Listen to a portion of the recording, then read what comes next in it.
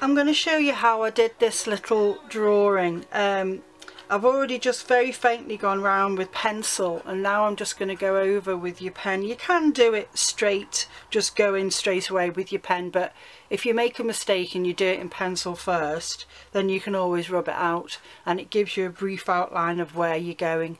So I'm going to do this little short video of um, a speeded up time just to show you how I created it.